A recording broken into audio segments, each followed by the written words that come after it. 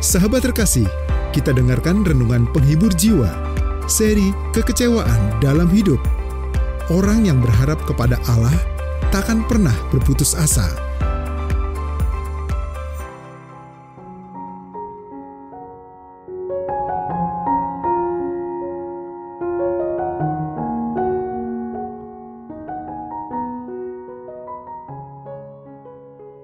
Seri renungan penghibur jiwa ini berjudul Mesin Terbang.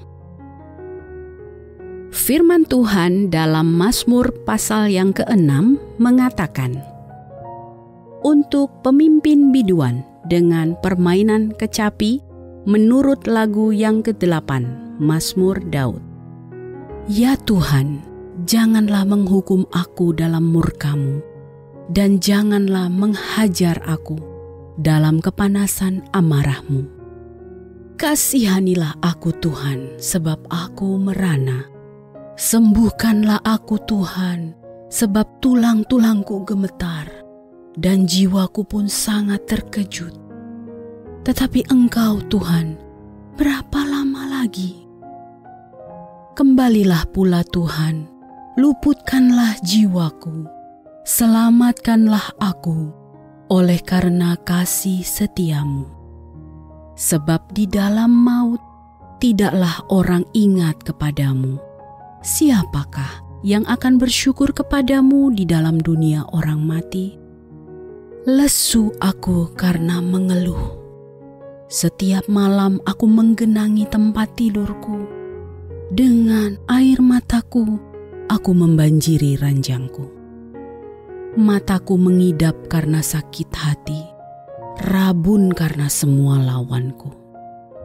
Menjauhlah daripadaku kamu sekalian yang melakukan kejahatan, sebab Tuhan telah mendengar tangisku. Tuhan telah mendengar permohonanku. Tuhan menerima doaku. Semua musuhku mendapat malu dan sangat terkejut.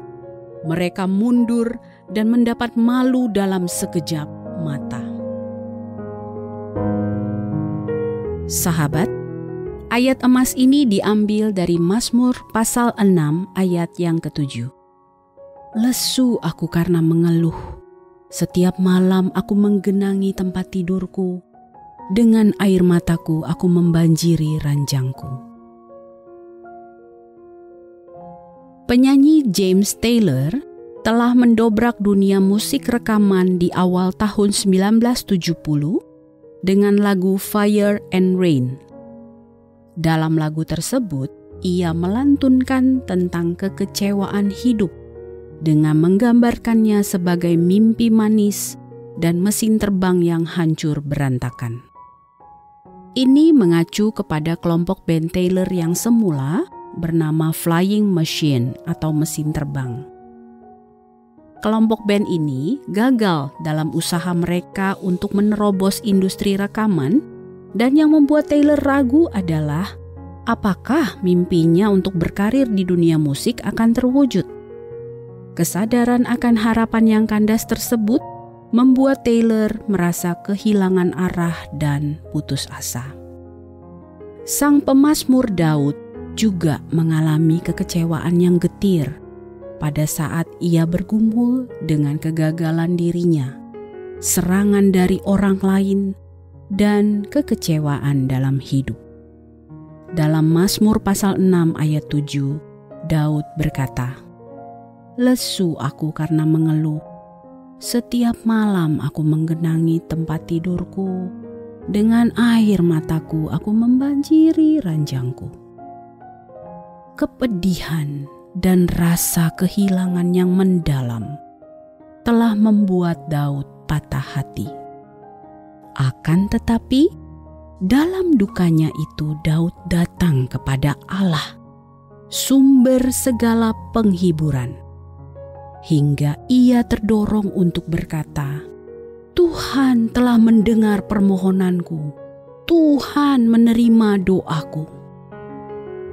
Di masa-masa ketika kita sendiri dikecewakan, kita juga dapat menemukan penghiburan di dalam Allah yang mempedulikan hati kita yang hancur.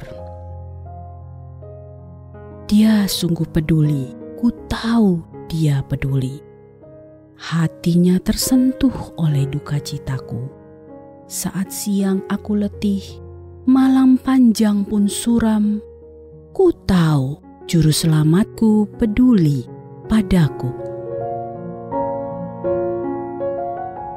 Sahabat, orang yang berharap kepada Allah takkan pernah berputus asa.